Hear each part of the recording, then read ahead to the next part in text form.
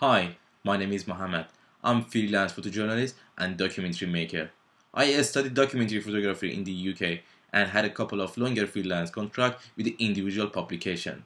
But I'm now trying to make a name for myself as a freelance photographer and journalist in my own right. I have lots of contact with a photographer in Iran. And I like to work with others to produce multimedia pieces. My top tip would be use your contacts wherever you are. Don't be shy about asking for help.